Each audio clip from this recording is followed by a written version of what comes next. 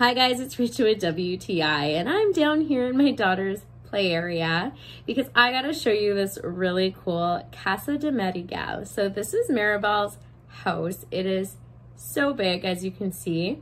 I have to show you all these cool features. It is amazing. So this house opens up at the back and you have all these different rooms. It comes with 14 different accessories. You can attach all the things the way you want to. There are two different rooms here. If you open them up, they do have sounds. It's pretty cool. There's lights. There's two little footprints here that you can put Mirabel's feet in. And if you do get the accessories with the different people, they fit in there as well.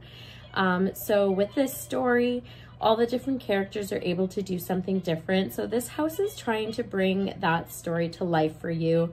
Um, the weather can change if you can see when you lift up the elevator. The stairs turn into a slide. You have um, Abuela's kitchen here, different accessories. You have a bedroom that you can set up just the way you want to.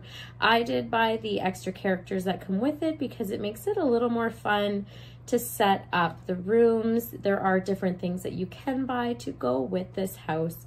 It's so fun. And the thing I like about it is when you're all done, you literally put everything back in the back, snap it up, and then it looks like this. How fun is that?